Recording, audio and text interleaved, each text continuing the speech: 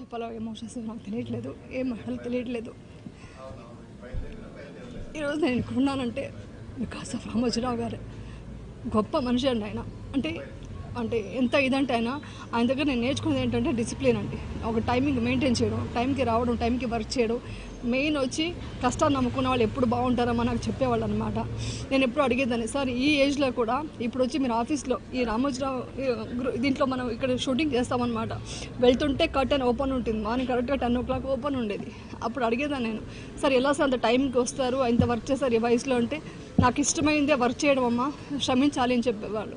అది కాకుండా ఆయన చాలా గొప్ప మనిషి అండి. అంటే మానవత్వం ఉన్న మనిషి.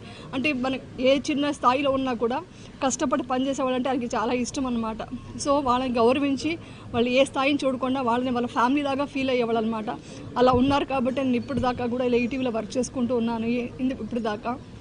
సో ఈరోజు నాకు ఆ మాట వినగానే చాలా షాక్ అయిందండి. కానీ ఇంకొక ఇంకో విషయం చెప్పాలి మీ అందరికీ.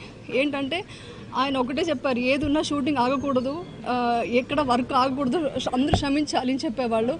ఈరోజు కూడా బయట వాళ్ళంతా షూటింగ్ క్యాన్సిల్ చేశారు కానీ మాకు ఇన్ హౌస్లో షూటింగ్ ఉందండి. ఈ బాధలో కూడా వెళ్ళి మన కృషి మనం చేయాలి అనేది ఆయన చెప్పిన ఒక ఇన్స్పిరేషన్గా తీసుకొని ఈరోజు నేను షూటింగ్ వెళ్తున్నాను.